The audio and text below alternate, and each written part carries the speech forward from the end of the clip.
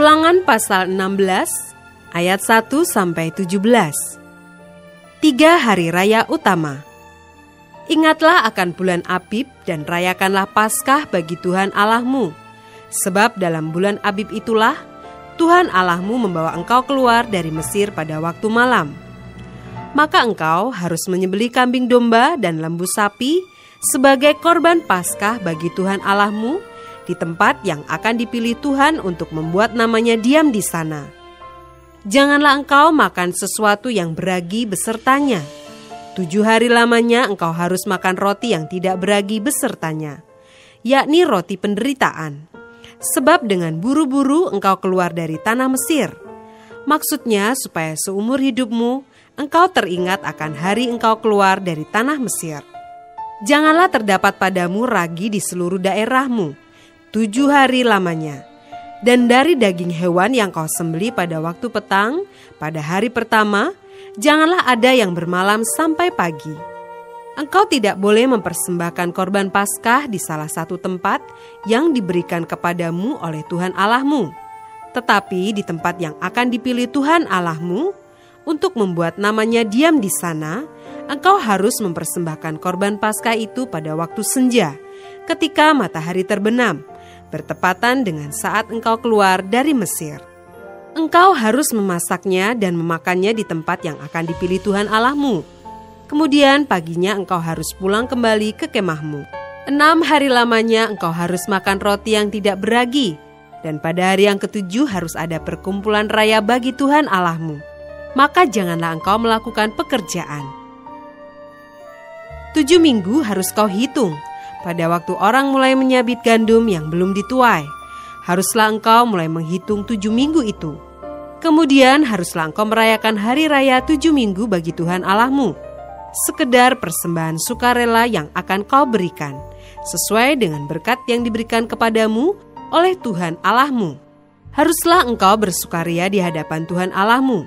Engkau ini dan anakmu laki-laki serta anakmu perempuan, hambamu laki-laki dan hambamu perempuan, dan orang Lewi yang di dalam tempatmu, dan orang asing, anak yatim, dan janda yang di tengah-tengahmu, di tempat yang akan dipilih Tuhan Allahmu, untuk membuat namanya diam di sana. Haruslah kau ingat bahwa engkau pun dahulu budak di Mesir, dan haruslah engkau melakukan ketetapan ini dengan setia. Hari raya pondok daun haruslah kau rayakan tujuh hari lamanya apabila engkau selesai mengumpulkan hasil tempat pengirikanmu dan tempat pemerasanmu. Haruslah engkau bersukaria pada hari rayamu itu.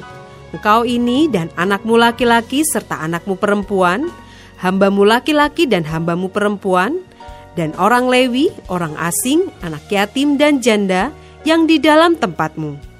Tujuh hari lamanya harus engkau mengadakan perayaan bagi Tuhan Allahmu di tempat yang akan dipilih Tuhan Sebab Tuhan Allahmu akan memberkati engkau dalam segala hasil tanahmu dan dalam segala usahamu, sehingga engkau dapat bersukaria dengan sungguh-sungguh. Tiga kali setahun, setiap orang laki-laki di antaramu harus menghadap hadirat Tuhan Allahmu ke tempat yang akan dipilihnya, yakni pada hari raya roti tidak beragi, pada hari raya tujuh minggu, dan pada hari raya pondok daun janganlah ia menghadap hadirat Tuhan dengan tangan hampa, tetapi masing-masing dengan sekedar persembahan, sesuai dengan berkat yang diberikan kepadamu oleh Tuhan Allahmu.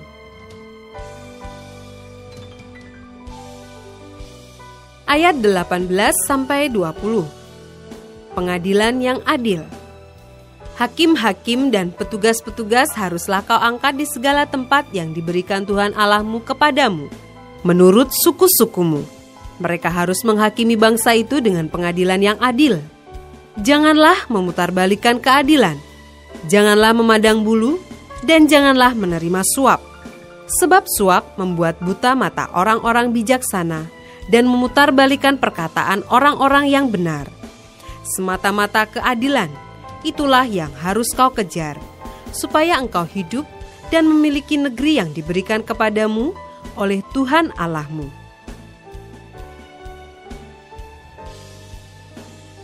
Ayat 21 sampai 22. larangan terhadap berhala, dan terhadap persembahan hewan yang cacat.